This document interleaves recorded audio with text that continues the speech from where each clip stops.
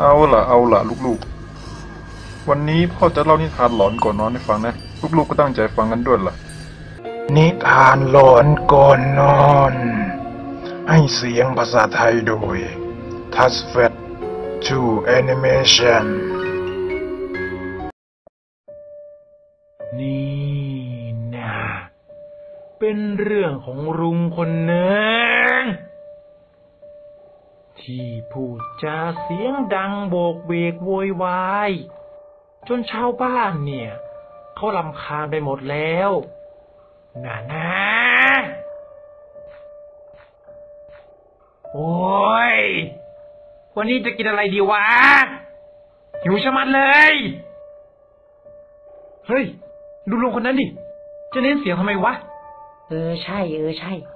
แม่งโคตรน่ารำคาญเลยว่ะ ทำไมฮะทำไม กูพูดแบบนี้แล้วมันหนักหัวพวกมึงเหรอ ถามจริง กูพูดแบบนี้แล้วบ้านมึงไฟไหม้เลยไงฮะถึงได้เดือดร้อนกันนักหนาเนี่ย ไม่ได้เดือดร้อนแต่ผมรำคาญกูเฮ้ย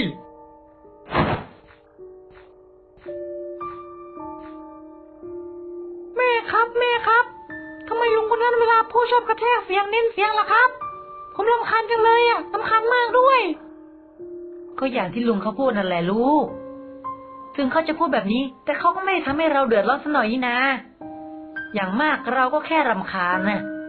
แต่บ้านเราก็ไม่ได้ไฟไหม้สักหน่อยนี่นา เออ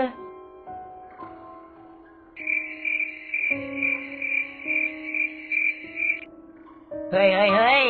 เขาว่ากันว่าบ้านหลังเนี้ยผีดุล่ะ จริงเหรอวะ เฮ้ยเด็กๆ จริงเหรือว่าที่พวกเองพูดตะกี้เนี่ยนะ ที่บอกว่าบ้านนี่ผีดุนะ ใช่แล้วครับ ถ้าลุงไม่เชื่อ ก็เข้าไปพิสูจน์ดูสินี่ผมไม่ได้ท้านะเนี่ยฮะถ้าเป็นผีเด็กอะนะกูจะเตะคว่ำเลย แต่ถ้าเป็นผีผู้หญิงนะ กูจะปั้มทำเมียให้หมดเลย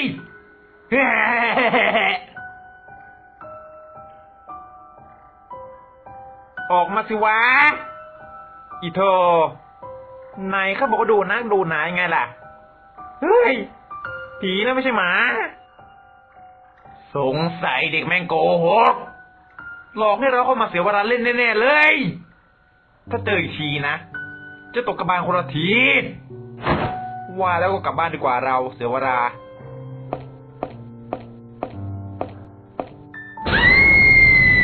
ว่าแต่ ทำไมคอมันหนักๆเนี่ย